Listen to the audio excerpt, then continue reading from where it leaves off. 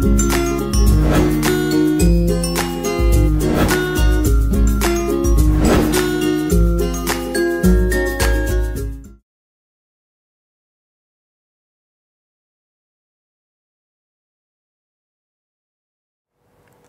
my name is Vaman Deshmukh and in this session we are going to learn object type which is uh, uh, one type of user defined data types in Oracle. When it comes to user defined data types, you have scalar data types which are predefined data types. And for particular business requirement your uh, predefined data types may not be able to cater to that particular requirement. At that time you will need user defined data types. And user defined data types uh, there are uh, several types of that. Now to see the definition of user defined user defined data types when a predefined data type is not able to meet a business requirement uh, we can create our own data type and that data type can be called as user defined data type and in the Oracle Oracle 8 onwards uh, user defined data types uh, can be created previously it was not available Oracle 8 onwards it became available. We have uh, types of user defined data types. We basically have two types composite type uh, which is also called as object type and collection. Uh, collections have associative array VARRAY nested table. So, composite type or object type and collection these are basically the two major types of user defined data types and in this session we shall see composite type or object type. Composite type allows a group of elements of different types in the sense it is used more for uh, composite attributes. Uh, let me explain this with a simple example. Here I have a simple table employees and in the table I have the columns like EID name and address right and here I will be filling records into that let us say 101 right name may be A and now I have address which has 3 lines like let us say address line 1 address line 1 address line 2 and address line 3. These are the 3 lines of address. Now, if I make this L that is address line 1, address line 2, address line 3 uh, just another column like if I make them uh, normal columns just like EID and name at that time I will have 5 columns in this table that is EID, name AL1, AL2, AL3 right. Now, here the requirement is that this AL1, AL2, AL3 are closely related to each other that is a part of a composite attribute right which is address. These three columns have a special relationship compared to the rest of the columns in the table.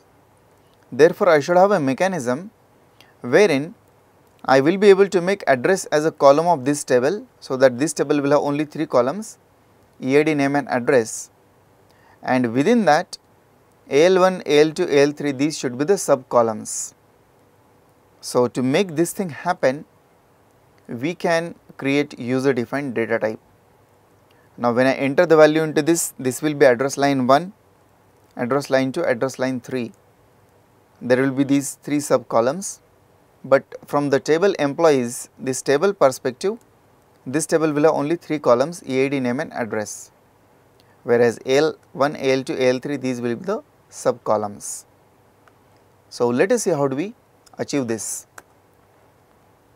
To create a composite type or object type the syntax is pretty simple create or replace type object type name as object.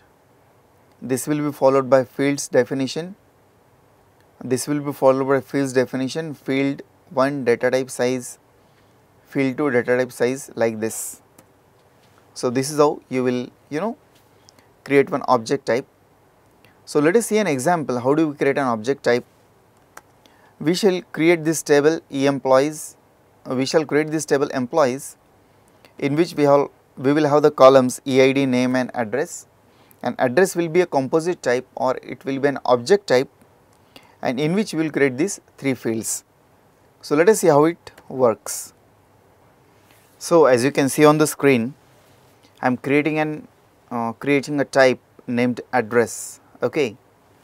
And look at the text uh, look at the syntax and the query.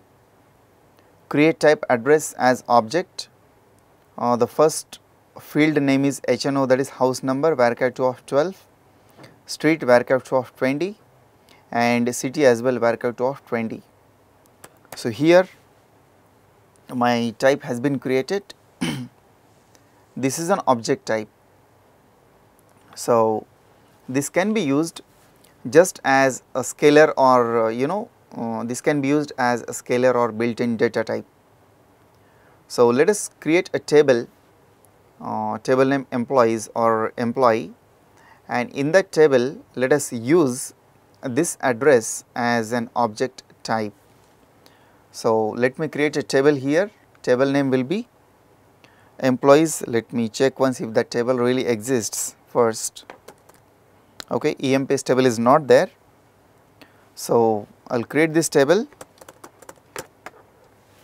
So, you can see here I am creating the table EMPS create table EMPS EID number of 3 name varchar of 10 and look at the third column location where I have used the user defined data type that is address. The table has been created. You can you know you can check the table structure as well. And you could see for EID there is a predefined data type number of 3 then for name as well varchar 2 of 10 these are all predefined data types and for location you could see the new type that is address is there. So, as of now as of now this table uh, does not have any records right. So, let us insert some records into this Look at this query friends. To insert the records into the table, insert into EMPS values, you could understand 101A. The third column, its name is location. So, see here when you insert the records into a table and if the table has a column which has uh, user defined data type, then you must refer to the data type name to insert records into that particular table here I am inserting the records into EMPS table and there I have a column called location and for that I am using the type name that is address. This is followed by one pair of braces and in that all the relevant values right. I will try to insert the record and one record has been created. I will add couple of more records. So, I have inserted two records. So, I have inserted two records now to select the records from this table, if you write down select star from EMPS which is the table name, you might not be able to see the records properly. For that you have to write the query in a little different way. Here you know to select the records you know to refer to the table alias as well as you know the particular column name and then the field name so, table alias, column name, field name, this way you can you know refer to the records and you can see the data properly. So, look at this query, select c dot eid, c dot name, c dot location dot hno that is house number the first field, c dot location dot street, c dot location dot city from EMPS C. So, C is just one alias I am giving here and check here, here is the data which is properly formatted. If you simply write down, if you simply write down select star from, if you simply write the query, if you simply write the query select star from EMPS, in that case you might not get the data properly, but with properly formatted query you can get the data properly. So, this is how you can get the data from a table which has an object type and let us see how do we update the records here.